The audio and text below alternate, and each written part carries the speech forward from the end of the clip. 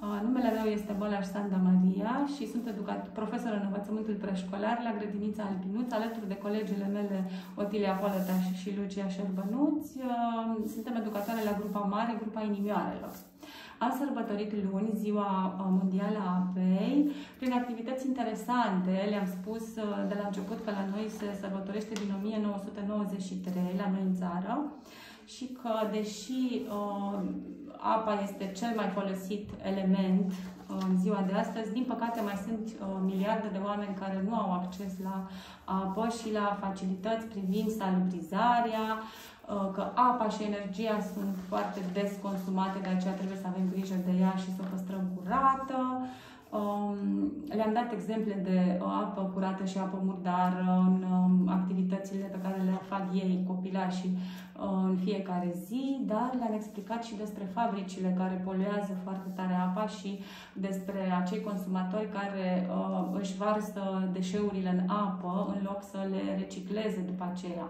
Știm că există sisteme care pot să recicleze apa menajeră și să nu mai fie acea apă gri, cum se numește ea, Um, uh,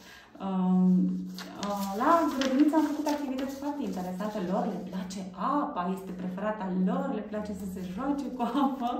Și atunci a fost prilejul perfect să um, o utilizăm în fiecare zi. Nu am sărbătorit doar luni, am sărbătorit și marți și miercuri și toată săptămâna o să ne jucăm cu apa. Uh, luni uh, le-am spus despre apă, le-am spus povestea unui picături de apă. Um, despre legenda Dunării. Astăzi am făcut legenda Dunării și le-a plăcut foarte tare uh, modul în care uh, s-a luat naștere în tradiția și în concepția populară fluviul Dunărea, care era, e o poveste foarte frumoasă, care era îndrăgostit de soare și luna era geloasă pe, pe el. Apoi am făcut experimente, am văzut uh, prin câte stări poate să treacă apa, stări de agregare și iarăși le-a plăcut foarte tare circuitul apei în natură. Acolo au înțeles ei exact ce se întâmplă cu apa și cum se curăță apa și mai ales cum se folosește. Uh, am făcut, uh, astăzi am făcut un experiment, se numește fenomenul de capilaritate, Um, din uh,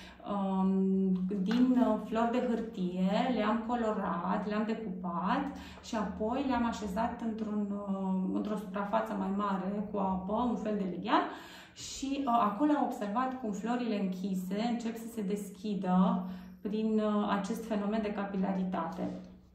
E interesant, e foarte mult de povestit despre el.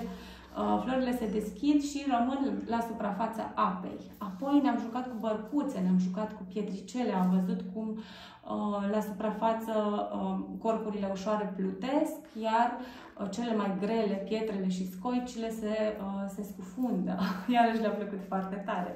Am văzut cum se topește zăpada și se transformă în apă.